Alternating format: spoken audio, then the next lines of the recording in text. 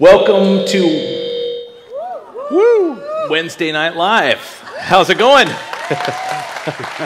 Good to see you guys. Uh, that everybody that's here in the room, thank you so much for coming out. Everybody that's tuning in online, welcome. And glad you are joining us from your living room or the coffee shop while it's still open or wherever you're at. We are glad you are with us tonight. Um, we've got a lot of cool things to discuss tonight, but I just want to remind you that this is a place where we endeavor to try to give you good, solid, trustworthy information because, as parents, as grandparents, as community members that have Judeo Christian values, we have a biblical world view. Uh, we want to know how to vote. We want to know how to get involved in our community. We want to know how to protect our children and our grandchildren. And uh, we can't do that without right information. And so we're trying to do that for you here at Wednesday Night Live.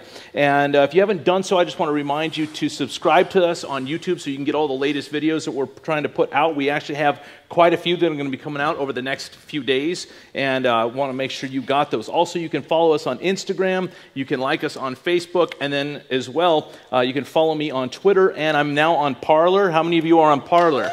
Good, awesome. So uh, either Twitter or Parler. you can get me at, at Real Pastor Tim. Um, want to give you just a couple of announcements. First of all, I got a quick video to show you about the baptism we have coming up. So take a look at this. Today you make that next step of identification totally and completely with his death, with his burial, with his resurrection. The water is actually a symbol of the grave.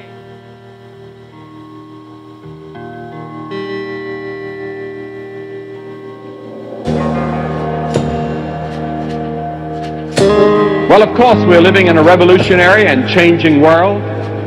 And the greatest need in the world at this moment is a transformation of human nature. To make people quit hating each other, fighting each other, and start loving each other. You can't pass a law and make people love each other. It has to come from the heart. And Jesus said it will only come from a heart that is yielded to Christ, to himself. And that's why he said, you must be born again.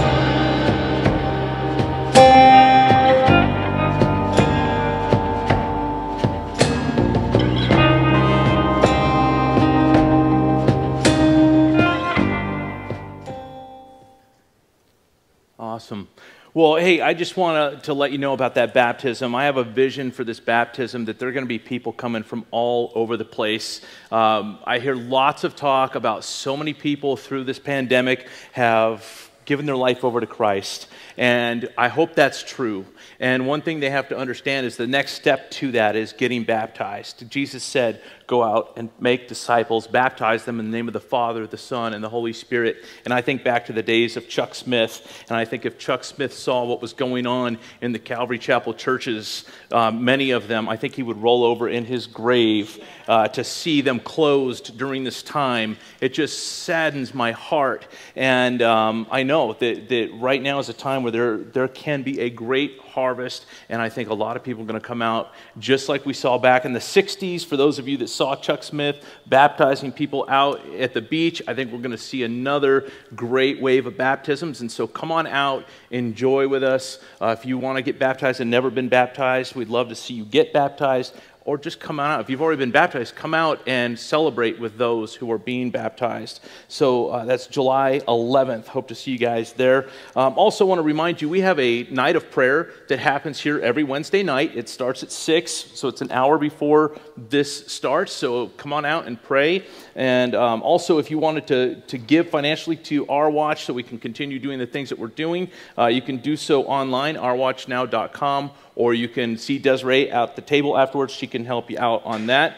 And then also want to remind you if you are wanting to get involved, we have an election season coming up. We want you to be involved. There's a great way that you can do that, and that is by getting on the town hall that Don Dix talked about. Uh, if you want more information about how to get the training and get through that process and be part of the community of people that are actually initiating some change, just see Lloyd Mize. He'll be out at the table here right afterwards, and you can get information on that. All right, enough of the announcements. Uh, let me just introduce our speaker uh, tonight, and this is uh, Jeff Barke. He's a medical doctor and is a board certified primary care physician in a private practice in Newport Beach for over 20 years. Uh, Dr. Barke is also a former 12 year elected school board member for the Los Alamitos Unified School District. He is the co founder and board chair of Orange County Classical Academy, a free public K through 12 classical education charter school in the city of Orange using Hillsdale College's K through 12 curriculum. Incredible. Um,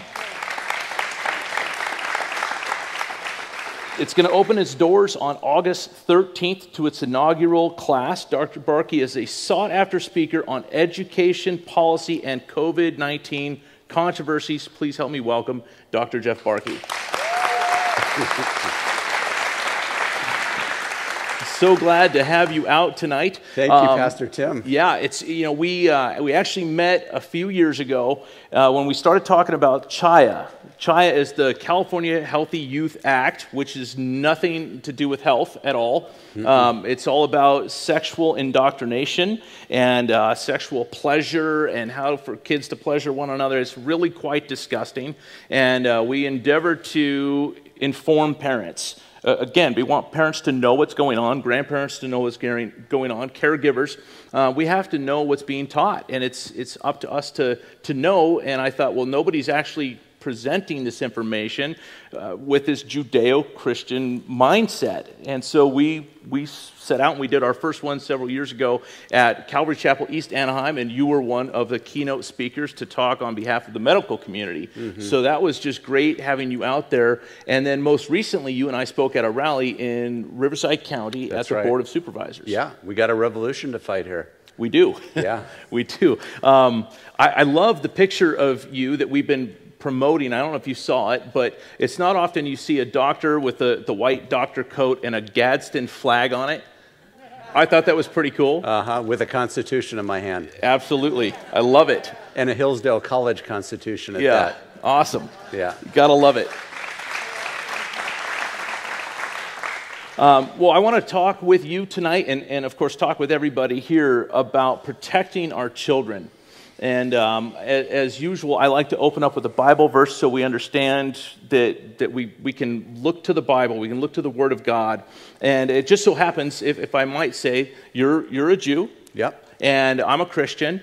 And both of us can look to this scripture and, and understand that in Hebrews 11 23, it says that it was by faith that Moses' parents hid him for three months when he was born when they, they saw that God had given them an unusual child, they were not afraid to just totally give into the government and do whatever the government said because Romans chapter 13 says we have to do whatever the government says.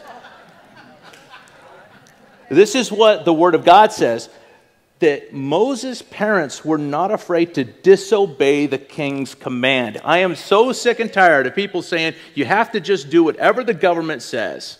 It is not true biblically the Bible is replete with men and women who went against the king or whatever authority was in place, the government's authority. They went against it when it was going against the word of God. And what we know is that the king had said, the Pharaoh said, kill all the, the boys. All these Jewish boys, kill them all. And so they said, no, we're not going to do that. And they, they hid Moses. And um, this shows us that God expects us as parents to protect our children. Absolutely, and I think that's right. And uh, you and I first met under the umbrella of protecting our children from the California Healthy Youth Act and the blatant pornography that was being put forward in our, not was, is being put forward in our public schools.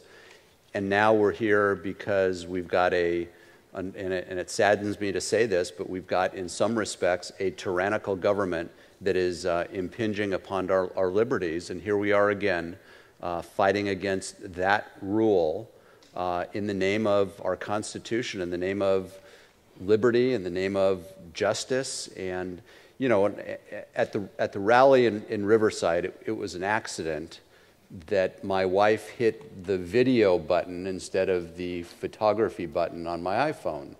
I had asked her, hey, honey, take a picture. This is kind of cool. We can send it to the kids. And she hit the video instead of the photo, and she just let it run. I don't know, I spoke for six or seven minutes. I don't even remember. And then later that afternoon, she posted it up on Facebook.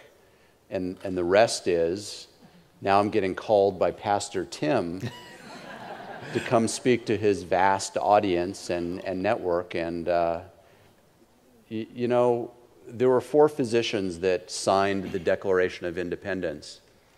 And doctors have been involved in the liberty movement from the inception of this country. And um, I'm just an ordinary guy that was given an opportunity to speak and whose voice, for better or for worse, was distributed wide and far.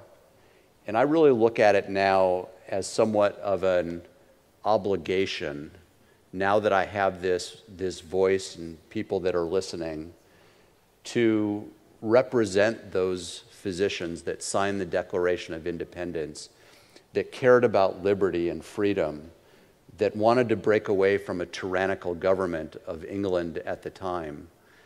And I want to see more doctors have the courage to stand up and to speak the truth and to share common sense and to get over some of the fear mongering that's happening on the media. It's, it's unbelievable. I'm so, I'm not an angry person, but I'm, I'm so upset with what's going on. I, and I'm just one person. And I just, I want to do more. I want to share more with people, not to be scared and not to be afraid with what you're hearing every single night in the mainstream media. Turn your TVs off. Open up your Bible. It's, it's a true thing. When you turn on the TV, you're not getting you're not getting enough of the truth. They're going to give you maybe a little bit of it, and then they just bend everything and spin it all, and, and you end up with what they want you to hear. You know, how many of you know that there was a, a Senate hearing yesterday about the Mexico border? So just, just a couple of you. See, this is what I'm saying is, is this is yesterday there was a almost five hour long Senate committee hearing on the Mexico California border and them, you know, that there's patients coming in from Mexico and they're going into our healthcare system. Mm-hmm. And they, how come they're not talking about this? Because we're in the midst of a shutdown. If you take a look at this, uh, this article that, um, that just came out today, this article shows us that, um, that Governor Newsom is going to shut down our state again as we encroach on um, 4th of July. They're getting ready to shut us down again. And this is exactly what I was nervous about just some couple months, not even two months ago, when I started to report on them bringing patients over the border. I knew that they were going to spike our numbers. It was going to cause us to, um, to end up having issues like this where they're going to shut our state down. No, no question about it. And it's not even about what's going on in the hospitals. What we're, what we're told is we're told a partial truth it's absolutely true that the numbers of people that are exposed and testing positive to COVID 19 has increased. And it's no surprise, it's expected. We, we shouldn't be shocked, it shouldn't be fear provoking. It should be, of course, that's what's happened because that's what we designed it to happen. So we shut down our economy for a time, and we were told that we want to shut down our economy in order to preserve healthcare capacity. And it made some sense initially, right? Oh, New York was overwhelmed, New Jersey for a time, Seattle for a time. And it looked like when we didn't know any better that our healthcare system was going to be overwhelmed and there wouldn't be room at the end for you and me if we get sick. So we need to be careful. We need to shelter in place. Let's close the economy down temporarily, we are told, to preserve that healthcare capacity. And we did. And within a very short time, we saw hospitals start to quiet down, capacity reopened, and so forth. But we kept shutting it down. We kept it shut down. We shut it down for so long that I am convinced that the economic harm And what a lot of people don't know about is the medical harm because the healthcare system was shut down as well, which means patients were no longer coming in for routine things. Women were no longer getting mammograms. Um, no longer were people getting screening colonoscopies to check for cancer, et cetera. On and on and on and on.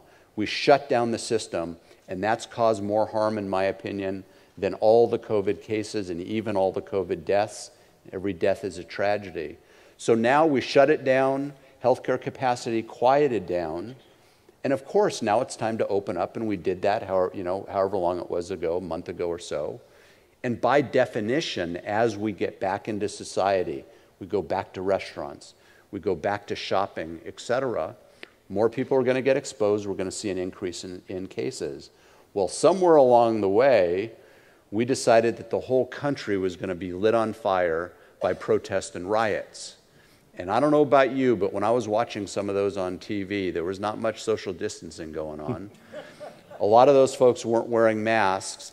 And if you notice, there weren't a lot of 65 and 70 year olds out there protesting. It was mostly young people.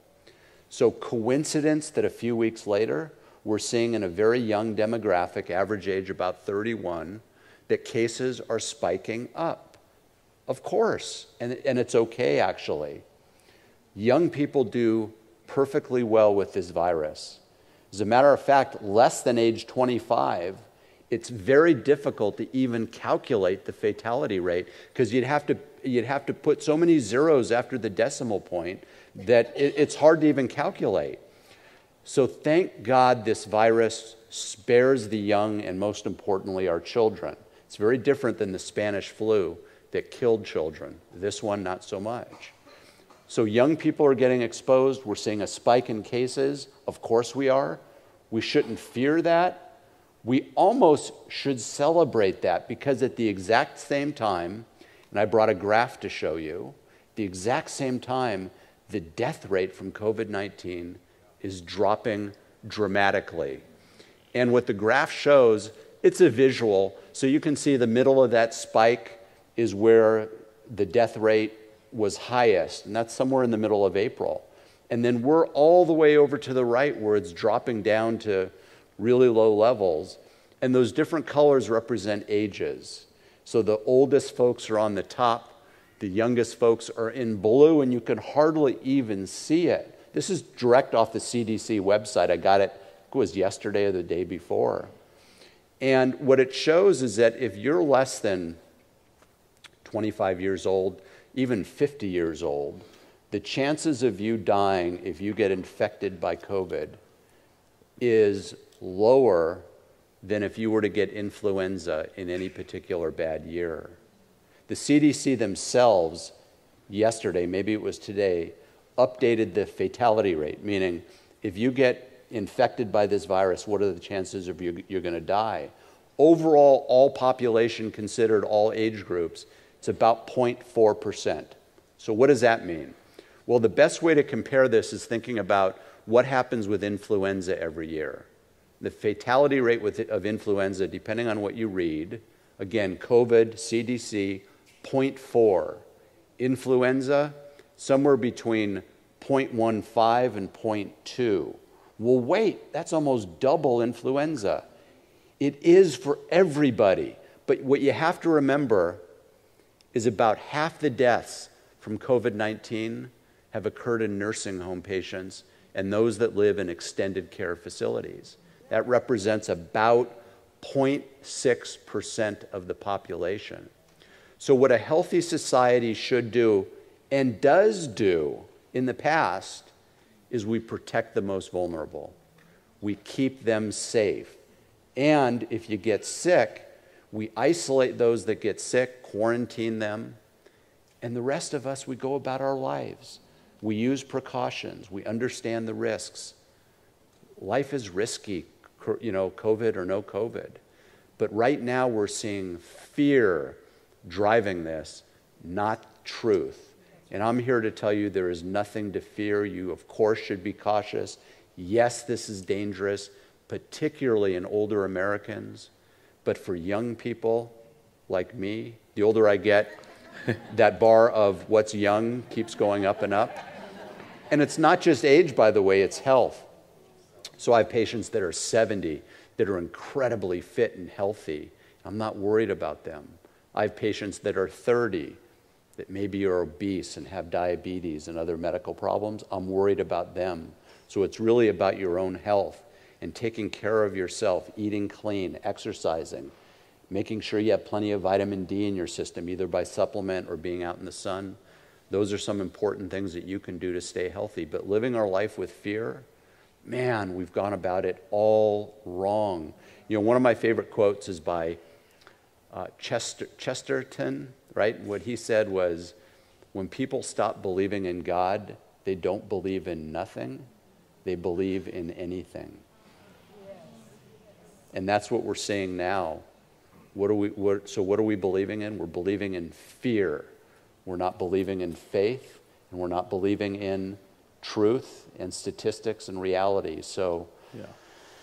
you know, I really view my job is to be out there and try to share the truth and try to share some common sense and, uh, and, and some, you know, some science-based truth to as many people as I can. And hopefully the voice is getting out and, and hopefully there's enough patriots and God-fearing people like you that will spread the message and be active politically because that's important um, and bring your neighbors in into this as well and share.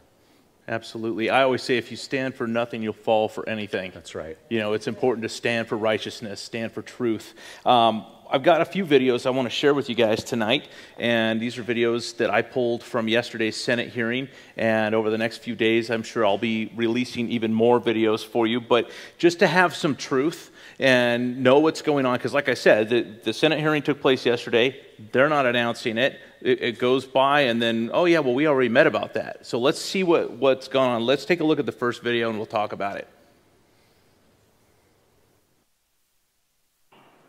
Our case rate per 100,000 population is at 696 over the last 14 days, almost three times as much as Los Angeles, a county with a population of 10 million.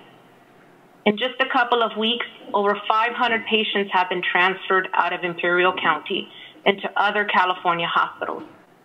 To be clear, stay at home and face covering orders have been and remain in place in Imperial County this time, dine-in restaurants, bars, personal care services, and all other higher risk workplaces remain closed. Thus, the logical question is, what is causing the surge of cases and hospitalizations in our county?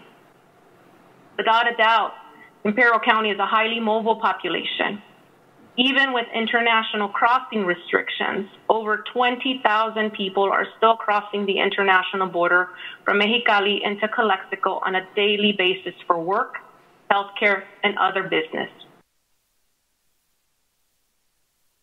There, there you have it, right there. I mean, we got a couple more videos to go through, but, but let's just highlight a couple things. Number one, just in the last couple weeks, 500 patients flown out of there into other places, namely Riverside County. Um, so there's that. We take a look at the fact that they said that the citizens that are living in Imperial County, they have to wear the face mask. They have to be sheltered in place. Mm-hmm. They have to shut their businesses down. They have to, you know, ruin their livelihood. And yet the border there is open. She says 20,000. I'm going to hear somebody else in a moment that gives you the figure of 25,000. But this is 20 to 25,000 people per day coming in and out of our border. And she, this is them saying, this is why we're seeing the spike because there's people down in Mexico that are coming in here, they're sick, and they're bringing it here, and we're seeing a huge spike. So we're, we're shutting down American citizens' businesses and livelihoods, but we're, yeah. we're just opening that up. You know, I, have talked to a lot of people about this, and you, you know, here's, here's the humanitarian part of me. And of course, we want to we want to help as many people as we can. And I feel bad for folks that are living in Mexico where they don't have good health care. And to the extent that we can help them, uh, you know, I'm, I'm all open to that. But we need to tell the truth first. You know, I'm going to be on Dennis Prager tomorrow, tomorrow morning at 9.30. I'm super excited and really nervous. Um, and Dennis always says, and maybe you've heard him, First, tell the truth, then give your opinion. We're not telling the truth. I'm not opposed to helping people if we have capacity, but tell the truth about it first. And to the extent that we're bringing people into this country and it's harming us, let's tell the truth about that as well. We need to take care of our own citizens first. It's sort of like when you fly on an airplane and the flight attendant is teaching about the oxygen masks. You've heard this before. First, put your own oxygen mask on so you're in a position to help whoever you're flying with. Same thing. First, let's make America as strong and healthy as we can we'll be in a better position to help the rest of the world, not the other way around. We're seeing that. I practice in uh, South Orange County in uh, Newport Beach. Hoag Hospital is our hospital. And the same thing is happening there. Because we've done such a great job and we have capacity at Hoag, we're seeing people brought in from outside of Orange County, and then they're counted as Orange County cases. And I don't think that's right. First, tell the truth. So the other reason why we're seeing a spike in hospitalizations is not because there's a spike in COVID 19 hospitalizations. There's a spike in hospitalizations because nobody, everybody's been shut out. All the elective procedures have not been allowed to occur. So now that knee replacement surgery that you weren't able to get months ago, you're now getting. And by the way, when you come into the hospital, you're tested for COVID 19. And if you test positive, even though you have no symptoms, you're now a hospital case of COVID 19.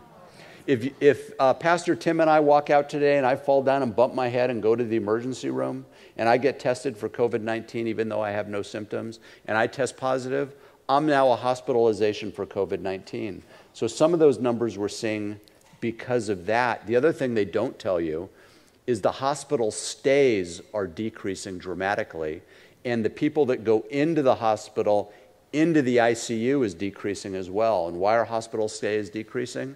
Because we're better at treating this disease. Now we know we treat early with steroids to reduce the inflammation. We treat early before they make it to the hospital, and we often avoid hospitalization if we use that politically incorrect drug that I just I, I shudder to even mention. As a matter of fact, just today, a, one of my patients, newly positive with COVID 19, I prescribed hydroxychloroquine, zinc, and a Z-Pak, as well as some steroids. And the pharmacist called me up. Never in my 20 plus year career has this happened. The pharmacist calls me up and says, uh, Dr. Barke, I want to know why you're prescribing this uh, drug to this patient. I said, Wait, what? You want to know why I'm prescribing a non controlled, safe, medication to this patient. I'm not prescribing OxyContin.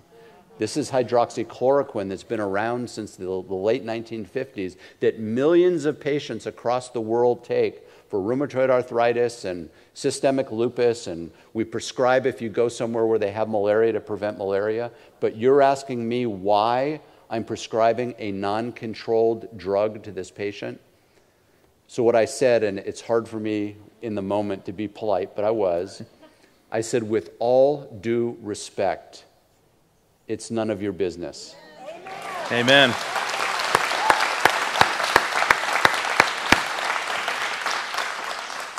And I would respectfully ask that you dispense this non controlled, safe medication as I've written. And more times than not, first of all, I shouldn't even have to have that conversation. But more times than not, the pharmacists usually back down and they go, well, oh, uh, well, we're just, uh, you know, this, that, and the other, and we're sorry, and, and yes, we'll go ahead and prescribe it. Crazy. Yeah, crazy. Well, let's take a look at one more video. I just got a couple more, but let's take a look at the next one. With um, cross border crossings from Mexico, even though that they are, have limited to citizens and legal residents. This has impacted disease transmission and hospitalizations in both Imperial and San Diego counties. However, the limited resources that Jeanette just spoke about in Imperial County make that a bigger challenge for both the public health aspects of this as well as the health care delivery and infrastructure. I don't want to repeat what Jeanette has said, but with a population of 181,000 and a million people in Mexicali, um, with uh, we have about 25,000 traveling across the border every day. That has um, you know, really working in their essential workforce has put big strain on Imperial County. On the flip side, we have San Diego County with a population of 3.2 million, um, daily border crossings of 75 to 80,000. Um, they have a robust EPI team monitoring data to produce weekly reports showing impact in the zip codes along the border, much higher per capita rates than any other part in what they call the South Bay. Um, consist- consistently 60 to 7 percent, 60 to 70 percent of hospital admissions um, are those that traveled to Mexico or were connected to a family member um, travel, who traveled to Mexico. So you didn't you didn't hear that on the news at all, did no, you? you don't you don't hear that. No. But, but we're told going to restaurants, and I don't know any restaurant that, that I've been to where you're not socially distanced and they all require masks. We're, we're told that's the problem, not that. That going to restaurants are the problem, but thousands of people rioting, that's not the reason why we're seeing COVID 19. It, it's, it's, we've entered crazy town, seriously. Right. right. You know, and, and here, here's the thing is, I'm looking at what's going on. We want to know the truth, and I, I think we, we're hearing the truth. I don't think that this is a lie. I think this is the, the true statistics that they're giving it, and they, you know, and that way they can say, "Hey, we gave this to, the true statistics, but nobody's going to report on it."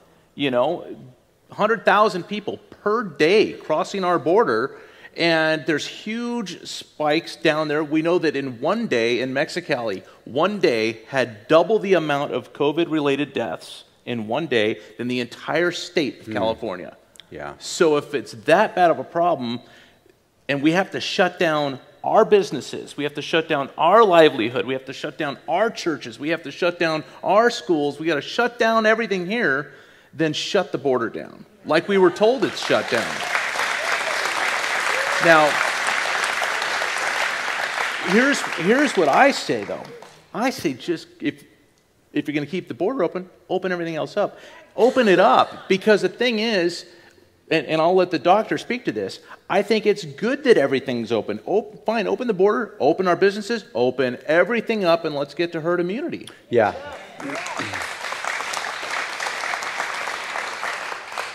So I, I agree with that. First, put our own oxygen mask on, and then we're in a position where we can help other people. And herd immunity is a thing. So nobody knows for sure what that number is. Let's back up. What is herd immunity? It's the concept that if enough of us get immune antibodies to the virus, that the virus then is not able to spread amongst the population. And most importantly, that virus then isn't able to spread to the most vulnerable. We're most familiar with herd immunity when it comes to vaccinations. So if we vaccinate enough people and they're immune to a particular disease, measles, mumps, rubella, chickenpox, and so forth, then we protect the larger population. Um, I remember when I was a kid, I, I was on a show, I was, I was talking about this.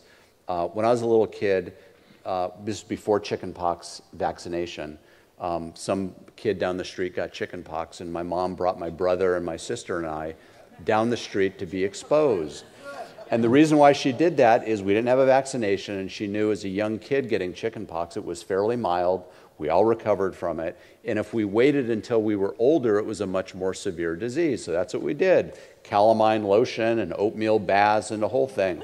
So now we rarely see chickenpox because most of us adults have been exposed to us when we were kids, and we do now have a vaccination for it. So that's the concept of herd immunity. The other part, though, to remember, not to remember, but to know, is that um, this virus affects people in a differential way. And what I mean by that is, I have a lot of families. One person in the family gets uh, COVID, but nobody else that lives under the same roof has got it. But we're told this is the most infectious disease we have ever seen, right? Well, how is that possible? Mom and dad sleeping in the same bed. Mom's got, mom's got the virus. Dad never gets it. No social distancing going on in the house. The kids never get it. Uh, people that are all living in the house, they never get it except for one person. How is that possible? Some of us, for whatever reason, we're learning about it now, are more immune to this virus. So, if it's true that a fairly high percentage of the population is relatively immune to that, then we don't have to get that immunity from a herd standpoint. So, I read an article recently that suggested maybe, just maybe, only about 20% of the population needs to develop antibodies in order for us to get to a level of immunity.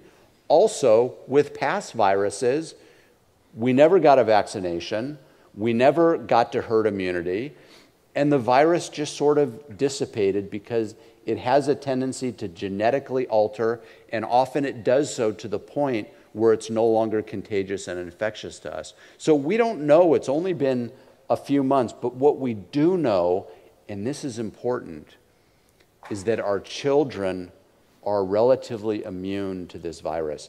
In Orange County, where I live, you can literally count on one hand, actually, you don't even need any hands, the number of deaths in children in Orange County.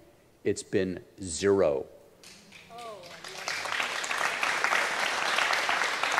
It, it's, it's not because we're doing something special in Orange County, it's because children are immune to this virus. In the entire country, there's only been something like 30 or 40 deaths in children. So to try to calculate the fatality rate, the number of zeros that you have to stretch out past the decimal point, a child has a 50 time greater risk of dying from drowning than they do from dying of COVID 19. A child has a greater risk of dying in a car crash driving to school than they do from COVID 19. Now, last time I checked, hopefully Governor Newsom isn't watching this, but we haven't closed down the swimming pools and we haven't shut down auto traffic because kids have a higher risk. So when we talk about sending kids back to school at our school, Orange County Classical Academy, we're opening August 13th. There will be no face coverings on children. Amen. There will be no social distancing of children. It doesn't make sense. And we're not going to reduce the census of the classes. It doesn't make any sense. We want kids to go back to school, full stop, no restrictions. Now, of course, there'll be good hygiene. We'll scrub the place down, we'll sanitize, we'll check their temperatures. Kids, staff, teachers that are ill will not be allowed at school. Of course, we'll do the common sense things. But to go to this draconian level of expecting our children to wear face coverings it makes no sense at all. The science doesn't support it, and I think it's harmful and possibly even dangerous to those children. Yeah.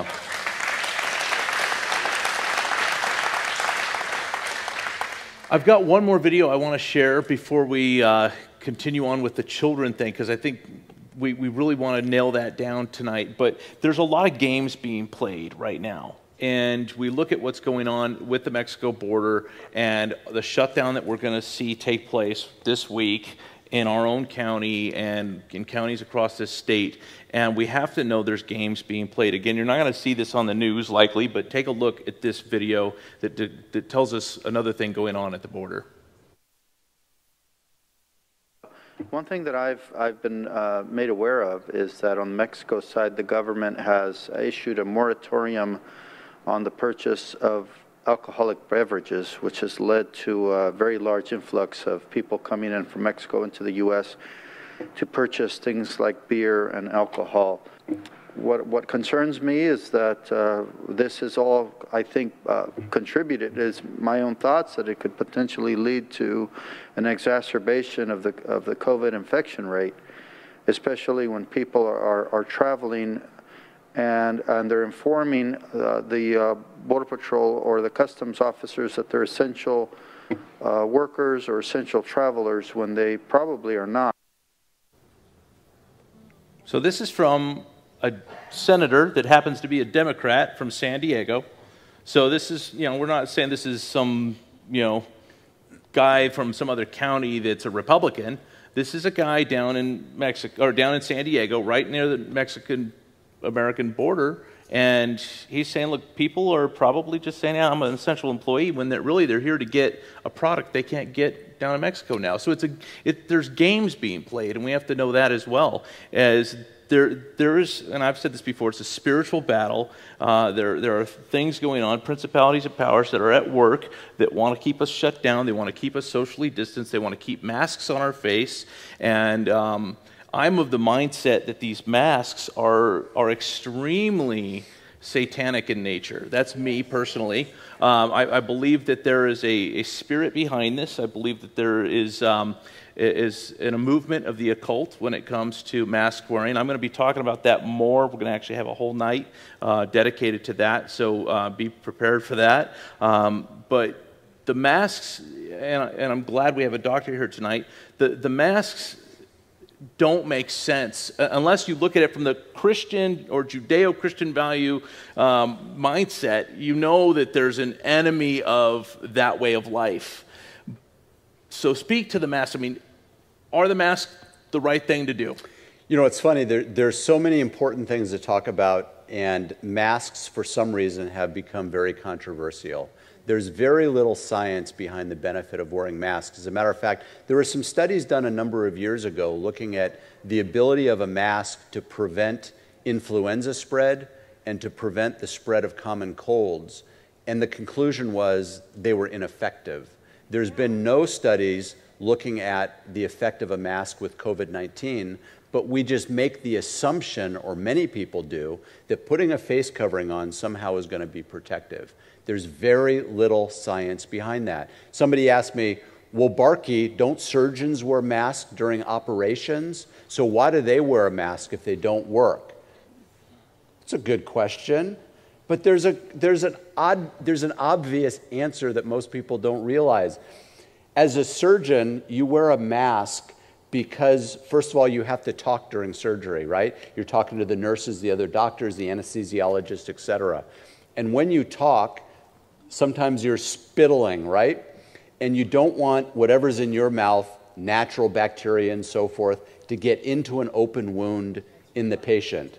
So that's the primary reason why a surgeon wears a mask to prevent them from coughing and sneezing and spittling when they talk to get into an open wound. The other reason, most people don't like to think about this because it's kind of gross, when you have an open wound and you're irrigating with saline and so forth, there's a lot of splatter that goes on, and it's not uncommon to get a little splatter on your protective goggles or on your mask. And so you kind of don't want the tissue from your patient into your mask. So that's the other reason why. What they don't do, they don't wear a mask to prevent the transmission of a viral infection because surgical masks do that very, very poorly. And what about doctors and nurses that wear masks in the ICU? Well, those masks are very different.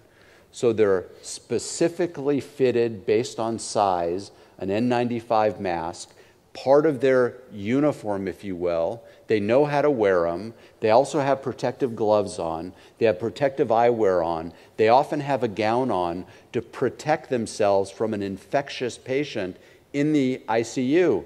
What you'll never see those folks doing, that you see everybody doing, is touching their face, adjusting their mask, scratching their nose because these things are uncomfortable. So the moment you start touching your face, whether you're wearing a face covering, a surgical mask, or one of those N95s that you can buy online but likely don't fit and aren't properly fitted to your face, as soon as you start touching and adjusting them, you render those masks completely useless. So it's fun when, on occasion, my wife and I go out and we're at Costco or wherever. I try not to do that because I hate going out and wearing masks. But nonetheless, when we I won't do, do it. right? I don't blame you. As a matter of fact, we recently decided we're not going out shopping anymore. We're ordering all our food through various online companies, you know, unless there's like some super product that we have to have that whatever. Anyways, so while we're at Costco or wherever we're at, we're looking around and it's entertainment for me. You know, shop, you know, I don't know about you men, you go shopping with your wife. What's the first thing you do? You look for a comfortable place to sit down so you can check social media and just kind of people watch because we're not really involved in the purchasing decisions, right? So, but what I like to do, and I actually put I took a video of this. We were in Milwaukee visiting my daughter, and we were out shopping, found a nice, comfortable chair, checking in on Facebook and Instagram, social media. Then I see this guy in front of me wearing a mask, and he starts pulling his mask down as he's sniffing these candles and so forth. He's touching his mask and he's sniffing. So if you go on my Facebook site, it's just my name, Jeffrey Barke. I think I posted it on Instagram. Uh, Prescription for Liberty, RX for Liberty. Um, I posted this, and, and the, you know, the caption was, I, can't remember, but proper mask wearing technique or something. And even, I, I posted this too, even Dr. Fauci recently Cameras on, mask on perfect, perfectly. Cameras off, he pulls, the, he touches his mask, pulls it down, and he's breathing and kind of adjusting it because there's no cameras on him, or so he thought. It's like the, the hot mic thing when you think nobody's listening. Cameras go back on, whoop, he pulls the mask back on. So even the wonderful Dr. Fauci, who not too many months ago told us masks don't work, until he changed his mind and told us that now masks work. And he said, Well, just kidding. What I was really trying to do was protect the supply of masks for you know, healthcare workers. So basically, he said, Well, I, I lied to you because I, th- I thought that you know, the, the ends justify the means. Even the World Health Organization a while back said masks don't work until they said, Well, no, just kidding, you got to put masks on. I'm not a big fan. Listen, if you're in a crowded environment like on public transportation in New York or somewhere like that, and you're gathered together tightly, okay, maybe. But if you're sitting and socially distancing, certainly not if you're out walking by yourself. And the favorite, and I love this, don't use your phone in your car, I know, but I love trying to take these pictures. The person who's driving in their car by themselves with a mask on and gloves. Yeah. it's like, are you kidding me? My daughter tweeted this out. No, please let that happen. It's one of the most entertaining things that I enjoy is watching these, these foolish people, these poor, scared souls that, they're, that they do what they're told. So, yeah. long answer to your question I think masks have a very limited role to play. I think mostly they're ineffective. And this mandate from our government, first of all, I don't even think it's a legal mandate. Right, right. So, your wife is on the Orange County School Board. Yes. And you presented with a group, presented something last week to them. You want to tell the audience what that was? Sure. So, um, the County Board of Education is kind of weird. So, they've got these elected board members, my wife is one of them, and then they have an elected superintendent. So, normally you think about school boards. I was on a school board for 12 years. The school board hired and fired the superintendent and gave the superintendent the vision and the direction of the board for, for this person to institute. In this situation, the superintendent is a duly elected separate person, so the board has very little influence over the superintendent. Okay, superintendent decides to put together a group of people to give guidance for school openings. He did so behind closed doors. There was no public invited to be there. There was no questions from the public. The panelists were not even made, uh, the, the public was not even aware of the panelists until his guidelines came out. My wife asked Dr. Mijares, May I listen in or participate? No, you may not. Well, why not? I'm an elected board member. Because it would be disruptive, he, she, she was told. Well, I'll tell you what, it's mostly on Zoom. Can I just zoom in and I won't participate. You can mute me. I just want to listen to the banter and the discussion, the agreement and disagreement. Can I do that? No, this is a professional group and it would be disruptive to have a board member there. So the county board decided th- this isn't right. We're going to hold our own forum of experts. It's going to be public, transparent. We'll allow questions and comments from the public, and we will come out with our own guidelines. They haven't yet, but they will shortly. So we had 11 panelists. Um, because I'm a physician, obviously, I know a lot of doctors and so forth, so I helped her um, choose some of the physicians. Uh, Dr. Ken Williams, who sits on the board, and my wife invited 11 panelists to participate. And, um, and most of them were there in person. And it was a wonderful presentation. We had a, uh, a Stanford trained attorney who's also an MD. You may have seen some of her work. That was Dr. Simone Gold. Uh, we had an, uh, a highly credentialed infectious disease doctor. We had a, uh, pe- uh, a Pepperdine School of Public Policy person there to give us some insight from a public policy standpoint. What should we be thinking about? We had a public policy person from Chapman University, Joel Kotkin, participate as well, and others. And so they went at it for about three hours uh, board members asking panelists questions, um, uh, the public participating uh, by giving their statements and so forth. And this went on for three hours. Um, the white paper will hopefully be coming out in the next couple weeks that will give guidance to school districts, guidance, not mandates, that they can use in deciding on how they want to open up their schools. I don't know what that policy paper is going to say, but based on my uh, being there and listening, the consensus pretty much was kids are not at risk, therefore, kids should be back in school without face coverings, without social distancing, without reduced census. Kids need to be kids. We need to put them back in schools. And I think the guidelines will come along something like that with some common sense things clean up, hand, hand hygiene. Um, you, you, know, take temperatures. If they're sick, keep them home, and so forth. So there's a lot of good things that we can do to keep our kids safe, but keeping them out of schools, you know, it's like a silver lining. I was talking today with somebody about this. You know, should we get our kids back to school? Should we get our kids back into a public school system that is failing our children and indoctrinating them?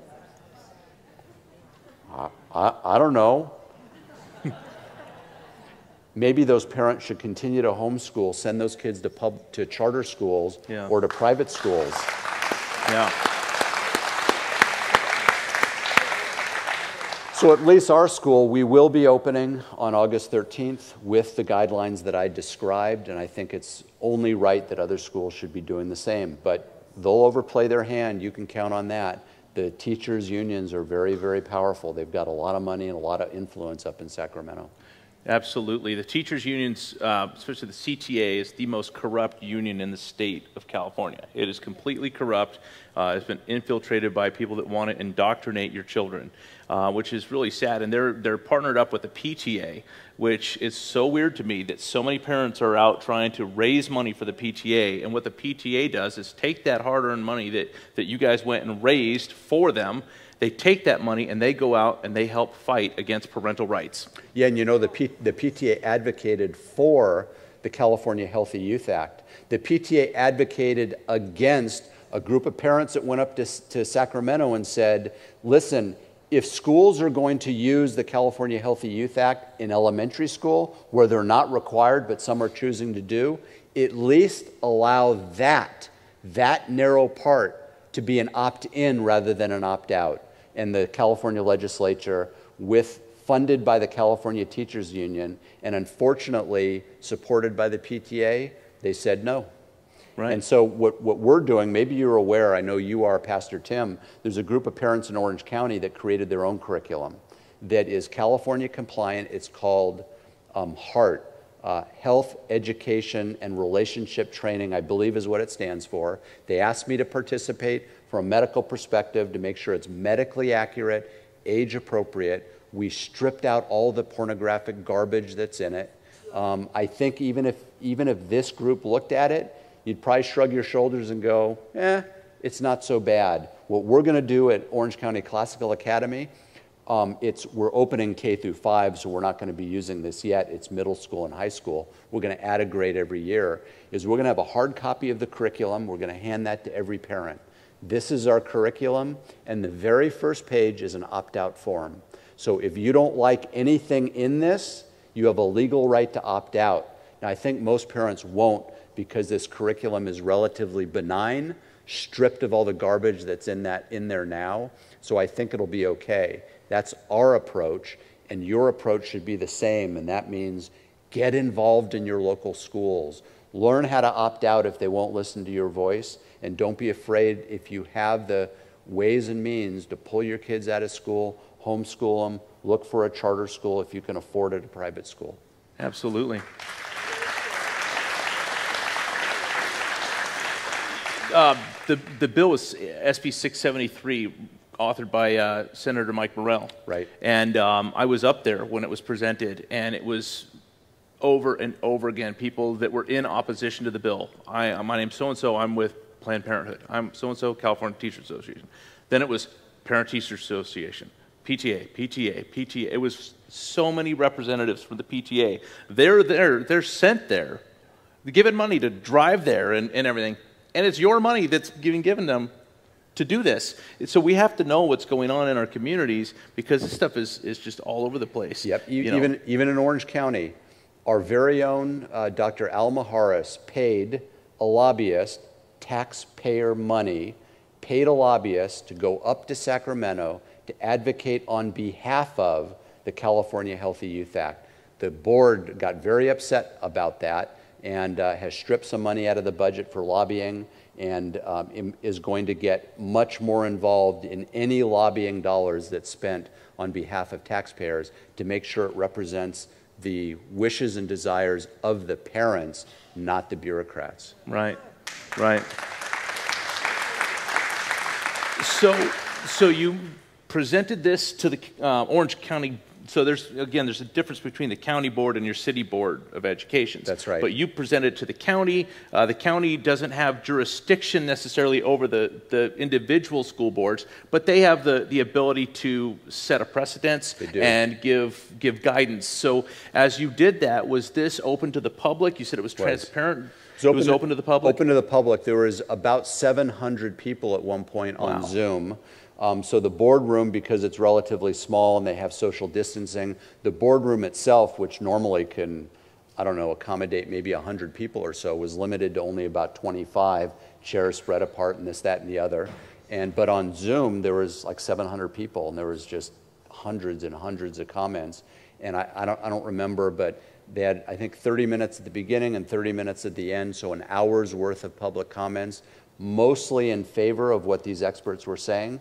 There were a few, of course, that disagreed, that thought masks were important and had a differing opinion, but that's, that's the point. That's the point of a public, transparent forum, unlike what the superintendent did. Right. And, and hopefully they'll adopt some guidelines in the next few weeks, and those guidelines can be distributed and, and used by school districts if they, if they choose to use them. So, um, open, transparent, um, you guys took the initiative to do this, but we've got an audience here that's, you know, I don't know how many of you are from Orange County, but I assume not many. Um, we've got a, an online audience that's all up and down the state and even across the nation. What would you encourage them to do? Because this, no doubt, is going to affect people all over the place. Absolutely. So show up to board meetings, most importantly. Show up to your school board meeting. If you go online to whatever school district that you're in, somewhere online they have a calendar that shows when the school board meetings are. I, I know most of us don't like to speak publicly. I know that, and it's not comfortable to do so, especially when you're saying something that disagrees with the elected officials on the dais. It's important, though, that you do that, even if you don't have kids in the district, even if you don't have kids that are in school. If you're a grandparent, it's important. Um, so show up, Typically, they allow a three minute comment. You can write it out if you're more comfortable doing that. And after you go to a meeting or two, you'll learn the routine of how you do that. And it's really important at the lowest level of democracy, school board involvement with parents in the community. It's really important. They're spending your taxpayer money, right? This is your money, it's not their money. So have a say in, in how our kids are educated and how your money is spent it's important. So that's the, that's the easiest thing to do. Just show up, and maybe the first meeting you don't do anything and you just observe. And they're pretty boring. Most of the routine garbage of the business of a district, you know, just kind of goes over your head and you kind of fall asleep. But you can get the agenda online, just show up, bring your popcorn, and just be, and just be, right? Just be.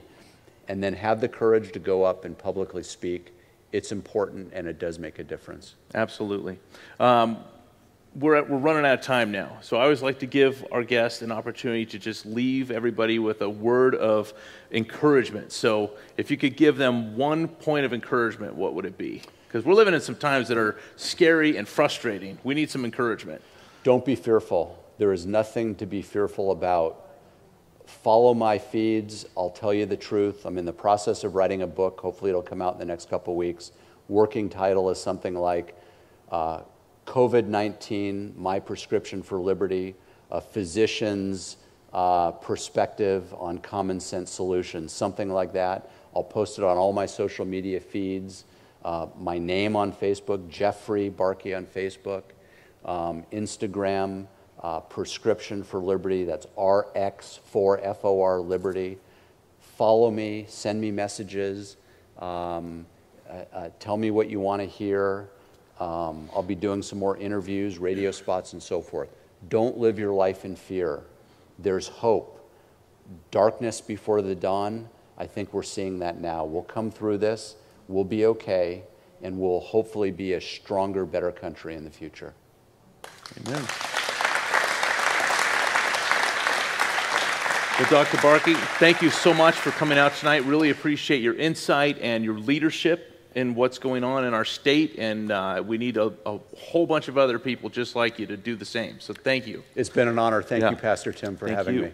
Uh, I want to thank everybody for coming out tonight and everybody that's tuning in online. Thank you for joining us. I want to remind you that next Wednesday night, we've got the District Attorney of Riverside County, Mike Hestrin, is going to be out. We're going to talk about Keep California Safe Act that's going to be on the ballot this coming November, so we need to know about it. We need to share this with everybody because the, the stuff that's going on in our state right now, um, as far as what, what, oh my gosh, just it's just completely out of control. So you're going to want to hear about the, the, Keep California Safe Act uh, with Mike Hestrin. So until next week, we will see you. Be safe, be free. Amen.